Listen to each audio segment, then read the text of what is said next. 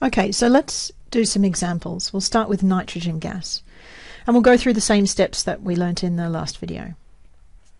So the first thing is to total up the valence electrons. Now we're going to do nitrogen gas N2. So we have two nitrogen atoms. Uh, nitrogen is group 5. We know it has 5 valence electrons. So with two nitrogen atoms we must have 10 valence electrons in total. So when we get to the end and we've finished our structure, we want to have used up 10 valence electrons in the structure. The second step is to look at how many bonds each atom is able to form. Nitrogen, group 5, valence of minus 3, so it forms 3 bonds. So each of these nitrogen atoms is going to want to form 3 bonds. Since there are only two atoms, each one of them must form 3 bonds with the other. So I'm going to draw out the skeleton of my molecule like that. This way each nitrogen is forming three bonds.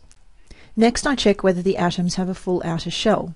Each nitrogen has formed three bonds. There are two electrons in each bond, so that's a total of six electrons for each nitrogen.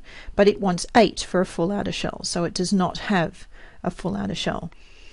So if each has six and it needs eight, I need to give each nitrogen an extra two electrons. So I'm going to do that by giving each nitrogen a lone pair of electrons, a pair of non-bonding electrons.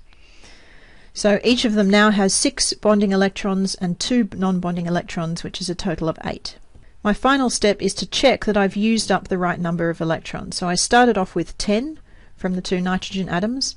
If I count up the electrons that I've used up, I have six bonding electrons plus four non-bonding electrons, which is 10 altogether. So the electrons in my structure equal the number of valence electrons that I started with. So that's my final structure.